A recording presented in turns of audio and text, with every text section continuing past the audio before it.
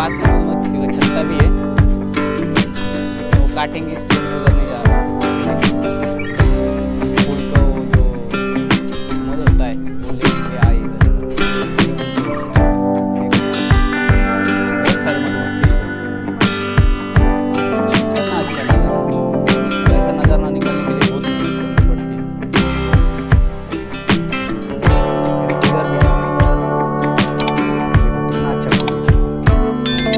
and let go for the